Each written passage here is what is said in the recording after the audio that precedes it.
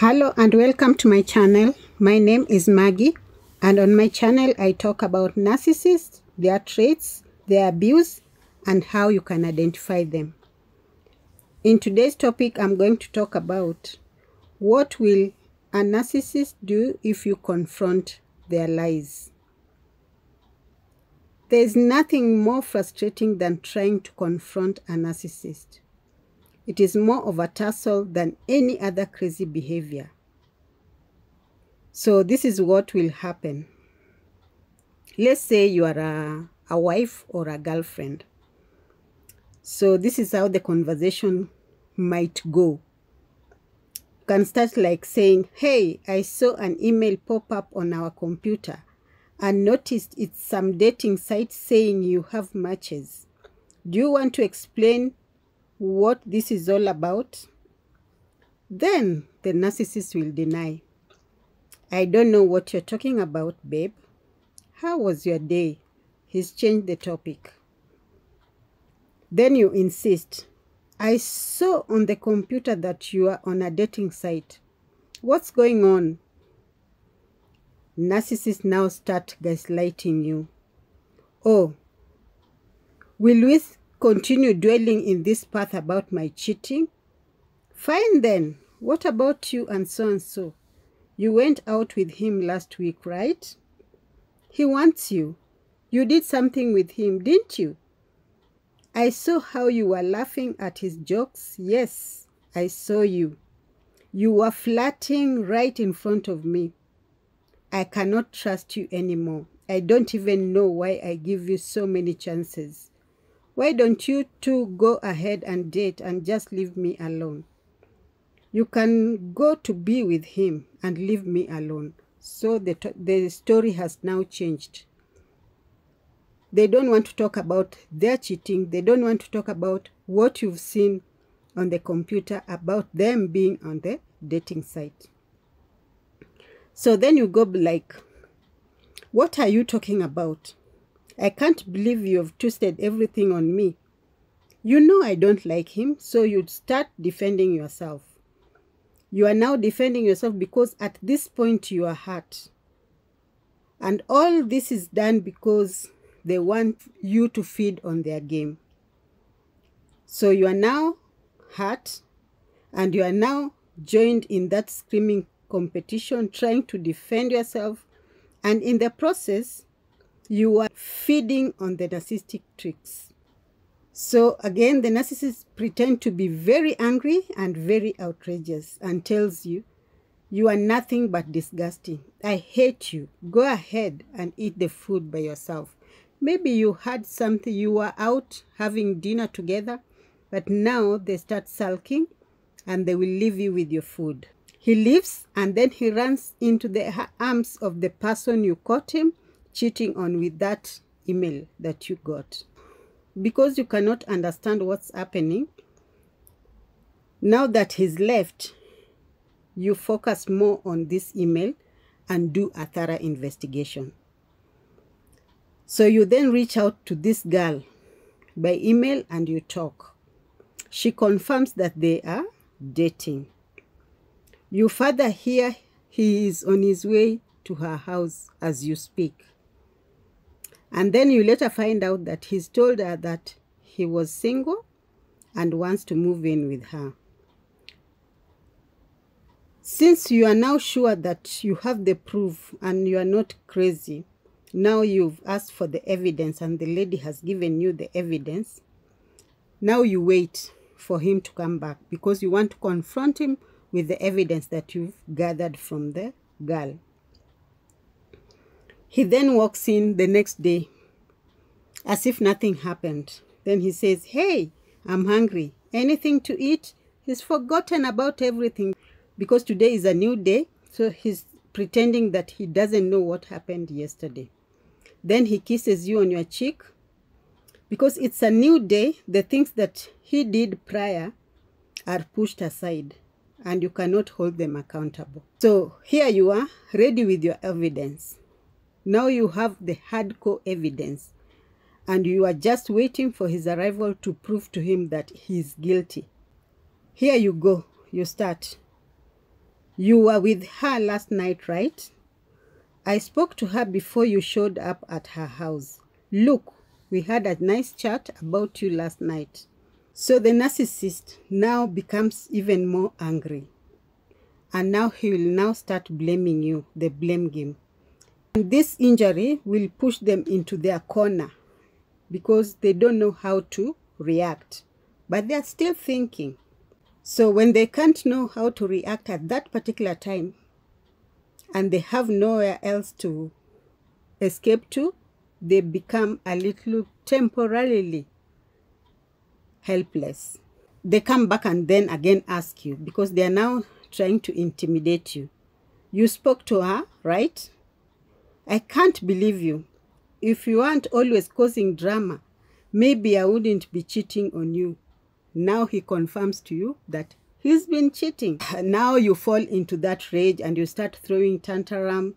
I knew it. You never loved me. You always treat me like trash. I'm leaving you. And this is what the narcissist wants.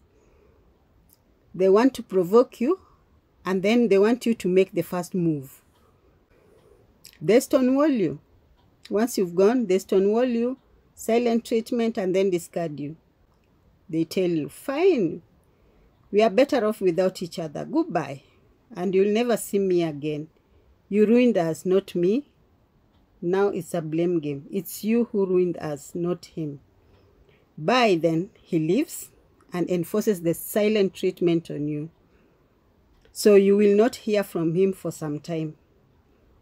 Because this is the best time and the best opportunity for them to go looking for the new supply or spend time with an existing supply to kill time until you come around and start apologizing.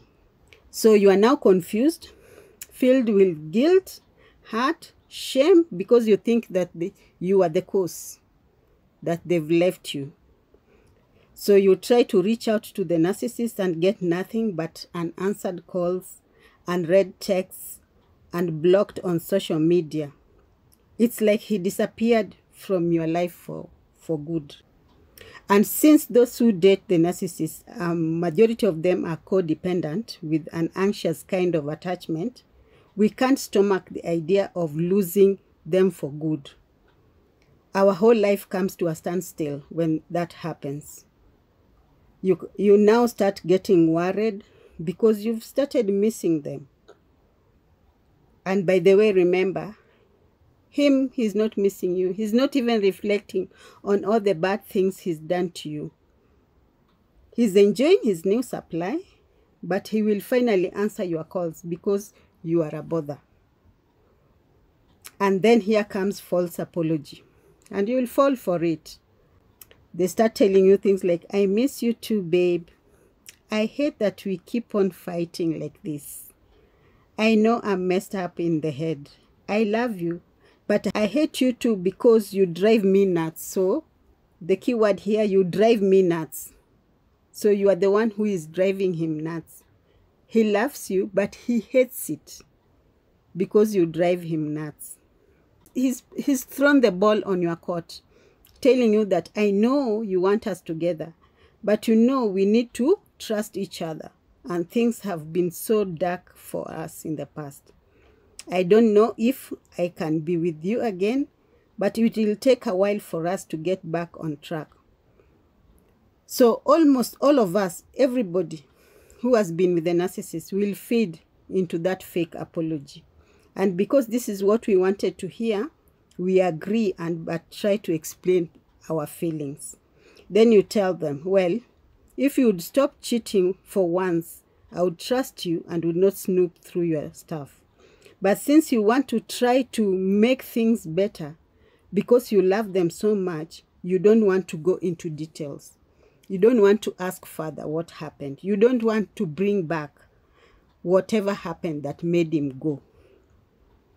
So you go like, I love you and I will do anything I can to make things between us work. You apologize. I'm sorry for everything.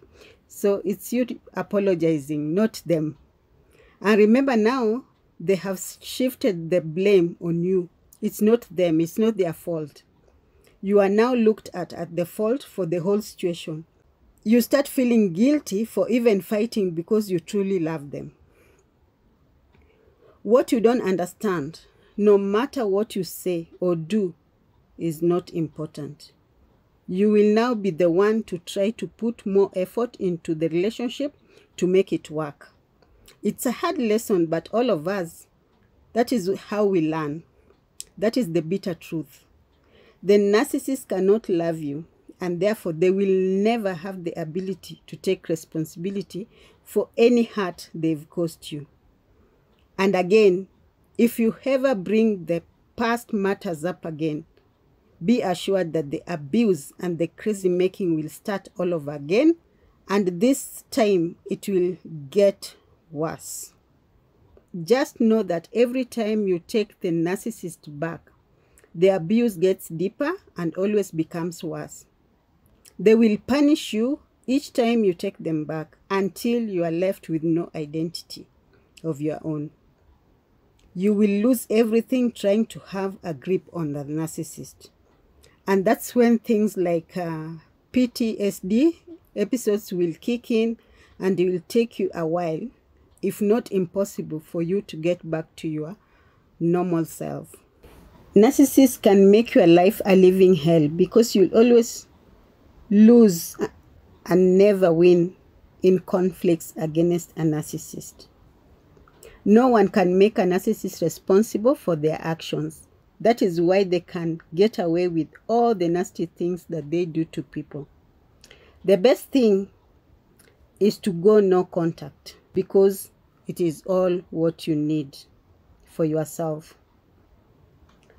So this is the true description of life with a narcissist and it is a common scenario of what it is like to be in a relationship with a narcissist. Thank you for watching and if you like my video please give it a thumbs up. If you are new on my channel thank you for coming on and please subscribe, share, leave your comment on the box below Click on the notification bell so that when I upload a new video, you will be notified. To my already subscribers, thank you so much for your continued support and let's meet on the next video.